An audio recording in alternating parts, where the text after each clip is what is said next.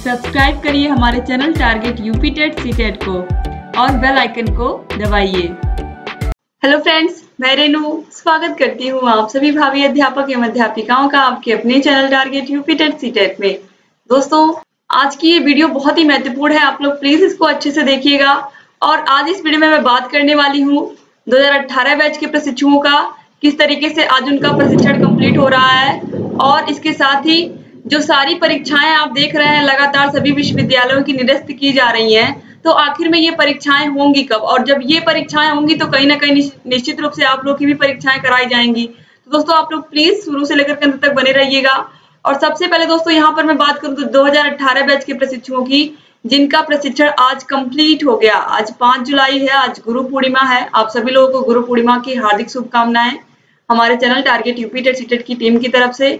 और दोस्तों यहाँ पर देखिए, आज पाँच जुलाई को कंप्लीट हो गया आप लोगों का। दो साल सैद्धांतिक रूप से ही कहेंगे इसको दोस्तों, क्योंकि व्यवहारिक रूप से तो हो ही नहीं पाया। औपचारिकता औपचारिकता मात्र है आज की कंप्लीट हो जा रहा है। लेकिन अगर देखा जाए तो अभी आप लोगों ने सही से प्रशिक्षण नहीं कंप्लीट किया है। आप लोगों की थर्ड सेमेस्टर की टीचिंग लगी हुई थी। इसके अलावा फोर्थ सेमेस्टर की टीचिंग आप लोगों की हुई नहीं। अभी फ़िलहाल इस तरीके से प्रोफार्मा आया है। टीचिंग का किस तरीके से आप लोगों को करना है, इसके बारे में ऑलरेडी मैंने बताया है आप लोगों को। कि किस तरीके से आपका इंटर्नशिप होगा। और दोस्तों, अगर आपने उस वीडियो को नहीं देखा तो आप लोग देख लीजिए, क्योंकि 100 नंबर का इंटर्नशिप होता है, ये आप लोग आप लोग को पता है तो बहुत ही महत्वपूर्ण है वो। जिस तरीके से भी आपके कॉलेज वाले कहें, उस तरीके से आप उसको करिए। अब यहाँ पर दोस्तों, देखिए, आप लोग का दो साल तो कंप्लीट हो गया सैद्धांतिक रूप से, लेकिन अब यहाँ पर आप लोगों की परीक्षाओं की क्या स्थिति है, अब हम ये समझते हैं। परीक्षाओं की स्थिति 2019 बैच के साथ भी हमको समझना है, क्योंकि 2019 बैच भी कहीं ना कहीं उनका भी 6 अगस्त को एक साल कंप्लीट हो जाएगा, यानी कि उनका भी दो सेमेस्टर कंप्लीट हो जाएगा और एग्ज़ाम के नाम पर अभी एक भी एग्ज़ाम नहीं हुआ। आप सोचिए कि एक साल में अभी तक एक भी सेमेस्टर का एग्ज़ाम नहीं हो पाया 2019 बैच का। तो स्थिति बहुत ही बेकार चल रही है दोस्तों, लेकिन अब ये चीज़ किसी को नहीं पता थी कि इस तरीके से कोरोना नामक महामारी आएगी और आप लोग के जो एग्ज़ाम है वो टाइम पर नहीं हो पाएँगे। और कहीं ना कहीं इसका असर दोस्तों, जो आने वाली वैकेंसीज हैं ऐसा ना हो कि आप लोग का प्रशिक्षण ये लोग समय से ना समाप्त कर पाए। ये बहुत ज़रूरी है कि जो भी आने वाले आने वाली वैकेंसीज है, उसमें 2018 बैच आसानी से अगर चाहे तो पार्टिसिपेट कर सकता है, लेकिन इसके लिए सिर्फ़ और सिर्फ़ आप लोगों को क्या करना होगा, आप लोगों को थर्ड सेमेस्टर को प्रमोट कराना होगा किसी तरीके से, और जो फोर्थ सेमेस्टर है, उसके एग्ज़ाम आपको टाइम से करवाने होंगे। तो ये बहुत ही महत्वपूर्ण है 2018 बैच के लिए, और अगर 2019 बैच की मैं बात करूँ 2019 बैच के प्रशिक्षुओं का तो अभी तक एक भी एग्ज़ाम नहीं हुआ, ना तो फ़र्स्ट सेमेस्टर और सेकेंड सेमेस्टर तो खैर अभी इनका चल ही रहा है, अभी तो पढ़ाई हम लोग करवा ही रहे हैं। तो यहाँ पर दोस्तों स्थिति बिल्कुल ठीक नहीं है और जो परीक्षाएँ पहले से ही तय थी कि हाँ जुलाई माह में करा ली जाएँगी, चाहे लखनऊ यूनिवर्सिटी की बात करूँ मैं, या फिर ए के टी यू यहाँ पर आप देखिए डॉक्टर एपीजे अब्दुल कलाम प्राविधिक विद्यालय ने 16 जुलाई को प्रस्तावित छात्रों की सेमेस्टर परीक्षाएँ स्थगित कर दी हैं। और वही चीज़ यहाँ पर भी लखनऊ विश्वविद्यालय में भी, चूँकि दोस्तों स्थिति बहुत ही बेकार है और कहीं ना कहीं अगर इस स्थिति में बच्चों को बुलाया जाता है तो संक्रमण का खतरा बहुत अधिक है तो इस वजह से लखनऊ विश्वविद्यालय ने भी कैंसिल कर दिया एग्ज़ाम और आप सभी को पता था कि जुलाई माह में इन सभी के एग्ज़ाम होने थे। और दोस्तों इसके अलावा अगर मैं बात करूँ पॉलिटेक्निक एग्ज़ाम का तो पॉलिटेक्निक की भी परीक्षाएँ अब सितंबर माह में होंगी, आप देख सकते हैं यहाँ पर।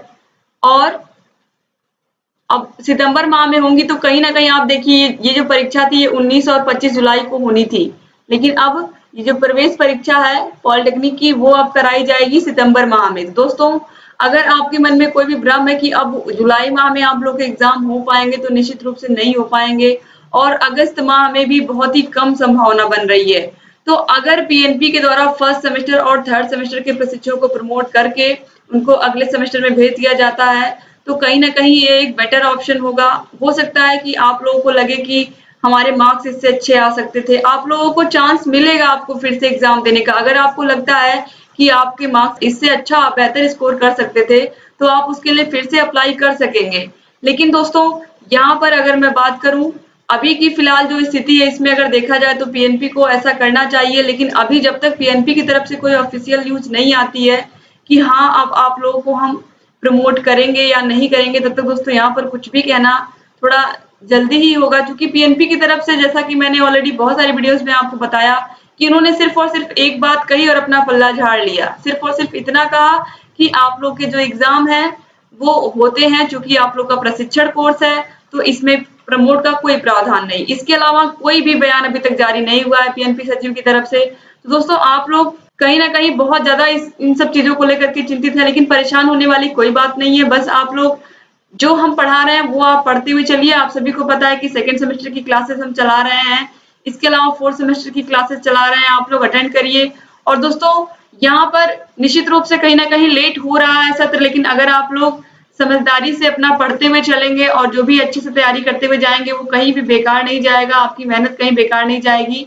बस आप अपनी तैयारी करते रहिए पीएनपी का काम है आपका एग्ज़ाम लेना, वो निश्चित रूप से आपके एग्ज़ाम लेगी। जब भी समय से ये सारी चीज़ें, जो सिचुएशन है, ये नॉर्मल होती है, जैसे ही ये कोरोना की स्थिति नॉर्मल होती है, आप लोगों के एग्ज़ाम निश्चित रूप से दोस्तों करा लिए जाएँगे। अब यहाँ पर देखना ये है कि आप लोग को फ़र्स्ट सेमेस्टर और थर्ड सेमेस्टर को प्रमोट करके सेकेंड और फोर्थ का एग्ज़ाम लिया जाता है, या फिर अगस्त के लास्ट वीक या सितंबर तक भी यही स्थिति रहती है, आप लोग का फ़र्स्ट और थर्ड का एग्ज़ाम लेते हैं। अब ये दोस्तों देखना है कि किस तरीके से पीएनपी क्या डिसीज़न लेती है। लेकिन दोस्तों, यहाँ पर अगर मेरे अकॉर्डिंग अब देखा जाए तो प्रमोट करना एक अच्छा ऑप्शन है।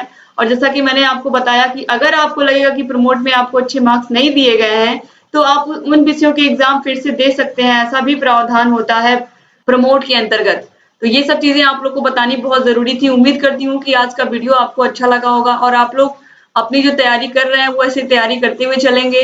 और दोस्तों, यहाँ पर देखिए, दो साल तो कंप्लीट हो गया कहने के लिए अठारह बैच का, लेकिन अभी आप लोगों को पता है, ना तो सही से दो सेमेस्टर का प्रशिक्षण हो पाया है कम्प्लीटली उनका, और ना ही एग्ज़ाम हो पाया अभी तक।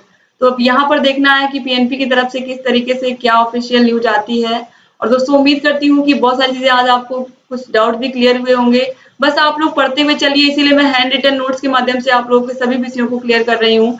ताकि आप लोग अच्छे से समझते हुए चले सभी विषयों को और बाकी आपको कहीं भी किसी प्रकार की कोई कंफ्यूजन ना हो। आप सभी को सभी विषयों के प्लेलिस्ट की लिंक इस वीडियो के नीचे डिस्क्रिप्शन बॉक्स में मिल जाएगी। सभी चैप्टर्स को आप पढ़ सकते हैं सभी विषयों के अच्छे से और बिल्कुल आपको ऐसा लगेगा कि आप क्लास में बैठ करके पढ़ रहे हैं, जिस तरीके से हमने अपने चैनल पर पढ़ाया है। तो बस ऐसे ही दोस्तों हमारे चैनल को देखते रहिए और अगर अभी तक आपने हमारे टेलीग्राम चैनल को ज्वाइन नहीं किया तो टेलीग्राम चैनल का भी लिंक आपको डिस्क्रिप्शन बॉक्स में मिल जाएगा। वहाँ पर आप ज़रूर चैनल को ज्वाइन कर लीजिए। तो एक बार फिर से दोस्तों आप सभी का धन्यवाद हमारे चैनल से जुड़ने के लिए, सभी वीडियोस को देखने के लिए। दोस्तों, हमारे वीडियो को पूरा देखने के लिए आप सभी का बहुत बहुत धन्यवाद। और ऐसे ही हमारे चैनल से बने रहिए, सभी वीडियोस को देखते हुए रहिए, क्योंकि आगे चल करके हम आपको UP TET super TET C TET सबकी तैयारी करवाने वाले हैं और बेहतर तरीके से आपको गाइड करने वाले हैं। तो ऐसे ही बने रहिए। जय हिंद दोस्तों।